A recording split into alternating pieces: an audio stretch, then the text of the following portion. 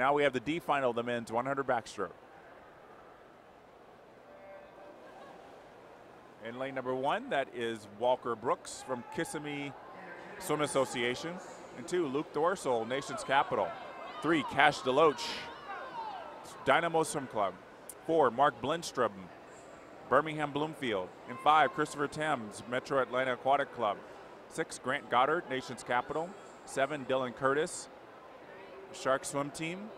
And in lane eight, Nicholas Saulnier, Iowa Flyers.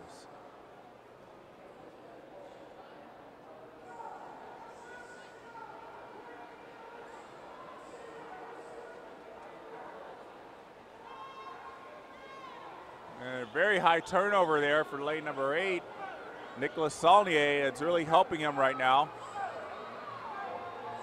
We want to have a good high turnover on backstroke, and he's using that to advantage. He's going to win this D final. Again, we're to have an outside lane winning a heat. Saulnier 58 29.